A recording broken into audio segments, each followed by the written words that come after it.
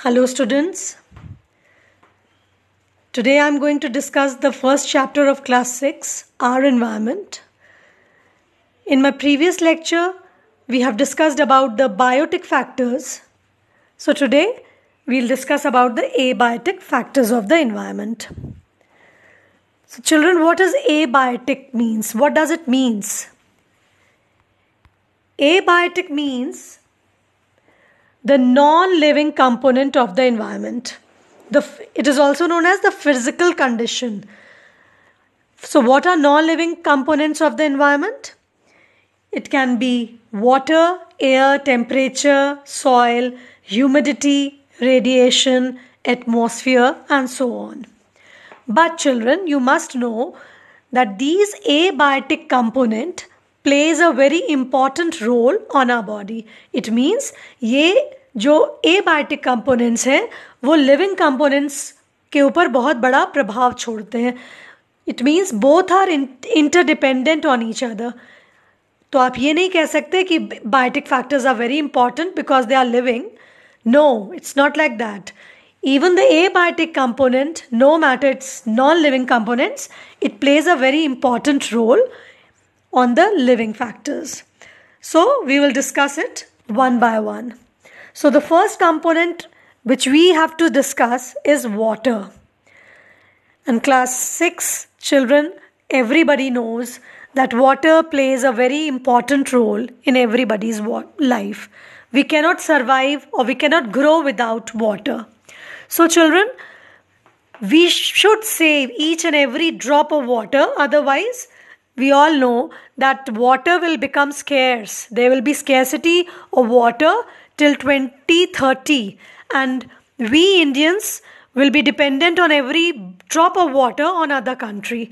So, if you see in every, in your daily life every day's life water is very important it plays a very important role in drinking bathing washing clothes and so many other things so this is one of the very important abiotic factor.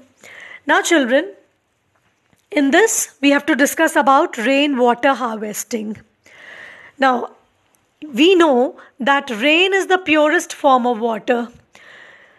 But when it touches the ground, it becomes impure because it dissolved many harmful things in it.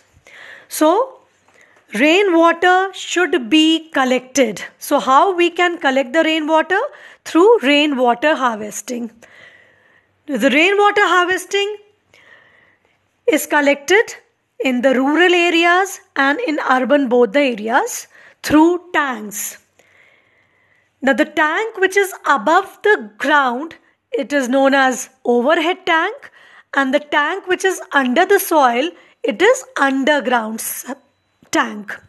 Now in cities, in the apartments, because nowadays we don't have proper space, bungalows, we live in apartments. So their children, the terrace on the roof, we just save the water through roof rainwater harvesting, rooftop rainwater harvesting.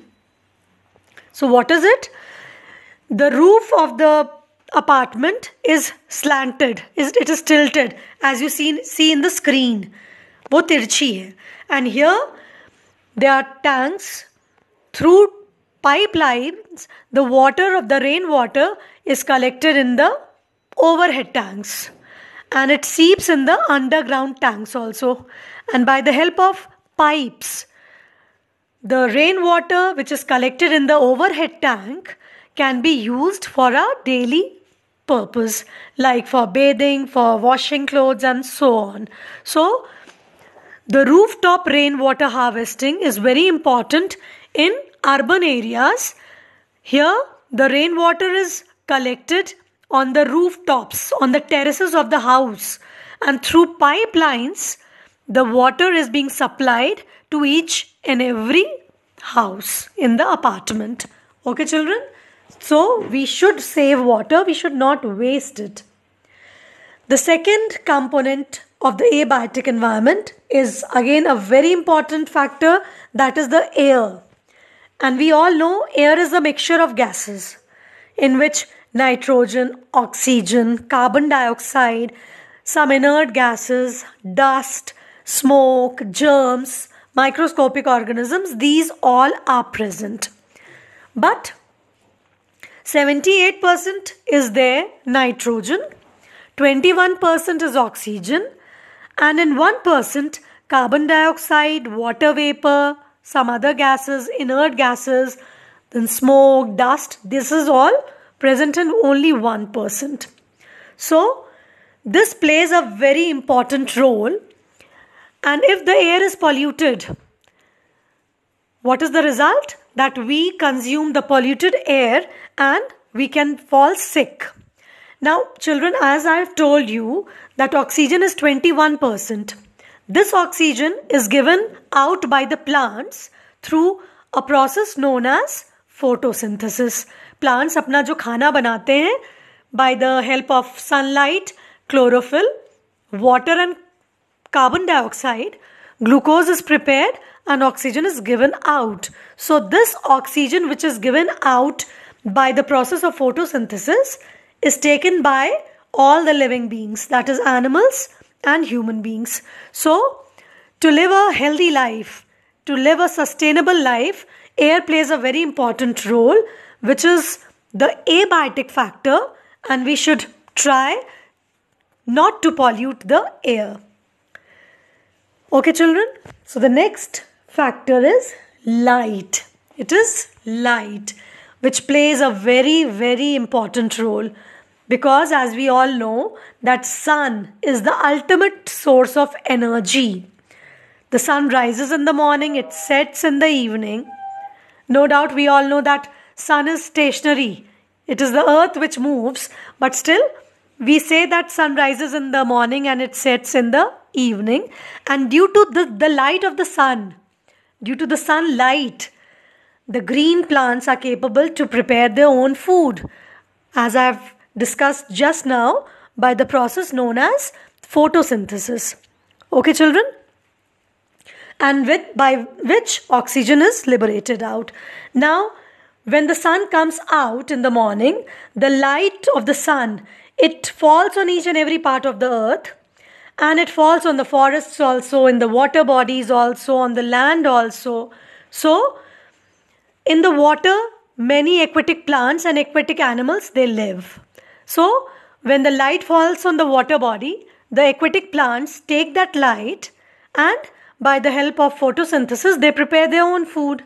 Okay children?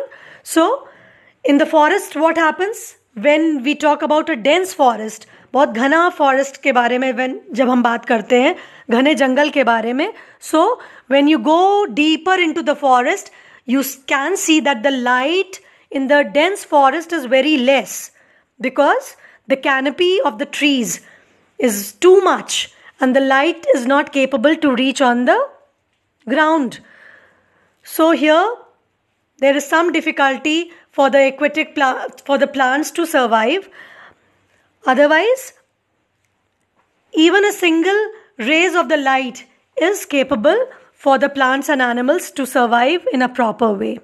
Like when you see some flowers, they can open properly in the morning, like the sunflower, the morning glory that is known as ipomoea. These flowers open in the morning, and as the sun set, they also fall down. The petals they fall down, means they close. So here the light is playing a very important role in the growth of the flower means some if you see the sunflower अगर आप sunflower सूरजमुखी उसका नाम ही है सूरजमुखी वो अपना face सन के साइड पर ही रखता है ईस्ट से as the sun rises in the east the sunflower will be in the east but in the west when it sets the flower will also turn its face on the west side so here light is playing important role in closing and opening of the flowers. Now when we talk about animals, some animals are nocturnal. Nocturnal animals means what? Those animals which come out in the night like cockroaches, bats, owls. They come out in the night. they don't come out in the morning. So these are known as nocturnal animals. Okay, children. So here we all, we human beings are not nocturnal. We do our work in the morning and we sleep in the night. But some animals are nocturnal animals. They come out in the night. So here again light is playing a very important role on their life. Okay, children? The very important, again, the next factor is temperature. Temperature means what? The degree of hotness and coldness. ये नहीं है कि temperature का मतलब सिर्फ गर्म no temperature means degree of hotness and degree of coldness both and it is measured by the device which is known as thermometer now when you when we talk about desert condition desert is very hot. And when you talk about the polar regions polar regions are very cold. They are cooler regions. So in different types of environment either it is a desert region or a moderate region or a polar region different plants and animals are seen according to the temperature. Like if you see in desert camels are there lizards are there snakes. They live in a very proper manner in desert condition. But when we talk about polar regions polar bears penguins are there. In the cold region, in the warmer region of uh, we see tigers and elephants and many other land animals like cow, goat, etc. So, when we if you take the example of cow, a cow can tolerate a hot weather in comparison to buffalo मतलब हम एक काव और buffalo में अगर आप compare करेंगे तो काव जो है it can tolerate hot weather in comparison to buffaloes जो हमारी बफलोज होती हैं they are black in colour और उनमें इफिशियंट स्वेट ग्लैंड्स जो स्वेट को निकालने की ग्लैंड्स होती हैं, पसीने को निकालने की glands they are not present in efficient amount. So that's why buffalo feel hot and that's why they go into the water bodies to cool themselves. लेकिन अगर आप कंपेयर करेंगे कैमल से camels can tolerate high extreme heat they are because they are living in desert and children you must know that camel don't have any sweat glands buffaloes don't have efficient sweat glands, but camel don't have any sweat glands. Camel में कोई एक भी sweat glands नहीं होती हैं। तो उससे क्या होता है? What happens that the waste water from their body is not liberated out so the loss of water is reduce in camel and the water is retained in their body so that's why they don't they can survive easily in the hotter region and the last factor in the abiotic component is the soil which plays a very important role हमारी जितनी भी खेती all the farming is done in the soil if soil is not there if fertile soil is not there the plants will not be able to grow properly वो नहीं grow करेंगे वो उनकी quality और quantity both will decrease कम हो जाएगी अगर आप फूलों की खेती करते हैं तो the the variety of flowers the quality of flowers will be reduced. So soil provides water and minerals to the plants and by the help of the roots the soil through soil water and mineral is absorbed.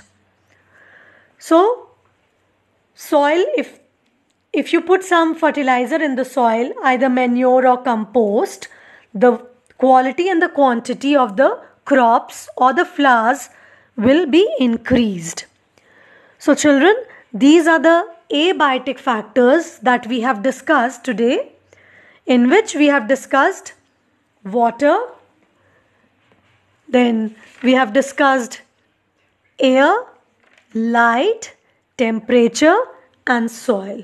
Okay children?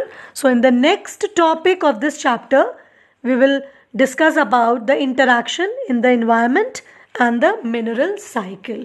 Okay children? Thank you for today.